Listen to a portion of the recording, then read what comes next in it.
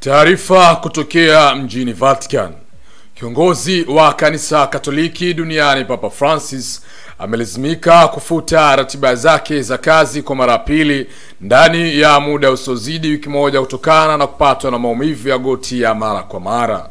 Kwa mujibu wa taarifa ya ofisi yake iliyo katika makao makuu ya kanisa Katoliki mjini Vatican, Papa Francis amevunja shughuli zake zote ikiwa na pamoja na kushiriki kwenye mkutano wa baraza la makadinali Baba Mtakatifu mwenye umri wa miaka 85 pia anasumbuliwa na maumivu ya nyonga yanayomfanya adhofike kiafya.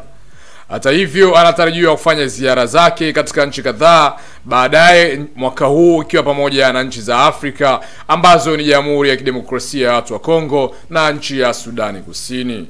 Endelea kusubscribe katika YouTube channel zetu kwa ajili ya kupata taarifa zote za kijamii, kisiasa, kiutamaduni na za kimichezo. Vile vile kwenda kutufollow katika peji zetu za mitandao ya kijamii yani Instagram, Facebook na Twitter, andika Nia Media kwa ajili ya kuwa kwanza kupata taarifa zetu zilizokuwa kamili. Na usogezea kwa karibu taarifa hizi ni mimi mwanahabari wako Mustafa Kaoneka wa Nia Media.